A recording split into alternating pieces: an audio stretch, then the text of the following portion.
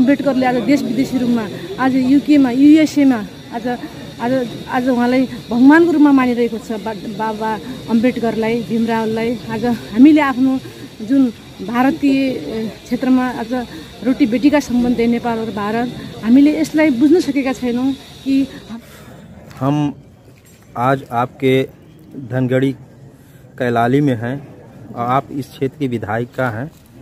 हम आपसे जानकारी लेना चाहते हैं। आज यहाँ पर नेपाल बौद्ध अंबेडकर महासभा का कार्यक्रम आयोजित किया गया था, जिसमें आप भी यहाँ पर अपना विचार रखा।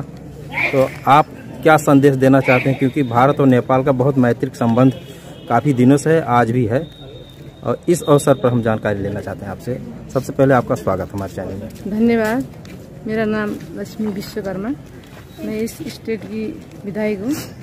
फिर जो आज कार्यक्रम हुआ, ये एउटा मिशन एउटा दलित आंदोलन और दलित मूवमेंट के लिए जो एउटा हमारे मिशन को आज कितने लोग इस मिशन को लेकर आज देश विदेशी लोग में अंबेडकर, बाबा अंबेडकर को आज एक मार्गदर्शन, एक ऊर्जा के रूप में, एक शक्ति के रूप में, एक नवयुग जो महापुरुष भी बोलते हैं हम इसको, और बाबा अंबेडकर और हमारे इस देश के जन्म लिए जो बौद्ध, जो उनका ज्ञान को आज देश विदेश में मान रही जो हमने अपने आप को पहचाना नहीं, जो आज हमने बहुत बात यहाँ सीखी, दर्शन की कुरा, मार्गदर्शन की कुरा, और उनका मिशन जो उनले अपने लाइफ में और अपने जीवन में जो किया, ये ये समाज के लिए, हमारे समुदाय के लिए, पिछड़ा समुदाय का जो विभद्र उत- उत्पीड़ित समुदाय के लिए जो योगदान किया था वो उसके हमने हाथ में साथ लेकर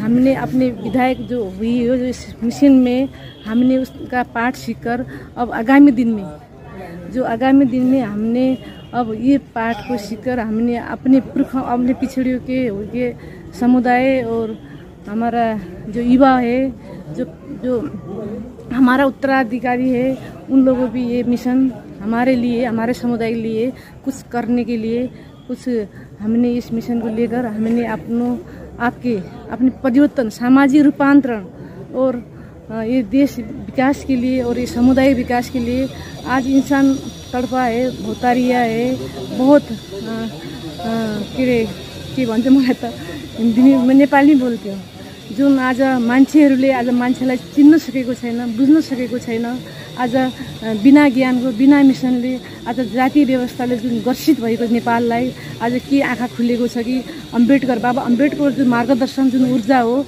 यसले आज हामीले आत्मसात लिएर अगाडि बढ्नुपर्ने जरुर देखिन्छ।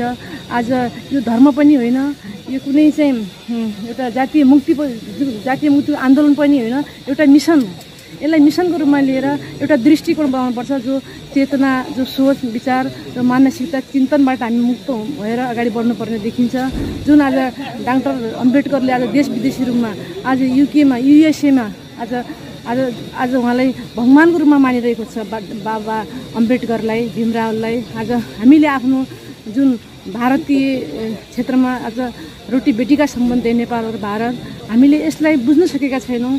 कि हाम्रो यो विस्तार हाम्रो सम्बन्ध जुन नेपाल भारतको चाहिँ सम्बन्ध हो यसलाई चाहिँ प्रगाढ रूपमा अगाडि बढाउनुपर्छ उहाँले लिएको मुद्दा इस्युलाई हामीले संविधानमा पनि केही मुद्दाहरू लेखेका छौँ यसलाई स्थापित गर्नका लागि पनि एउटा हामीलाई एउटा पुलको रूपमा एउटा यसलाई मार्गदर्शनको रूपमा एउटा यसलाई ऊर्जाको रूपमा हामीले लिएका छौँ।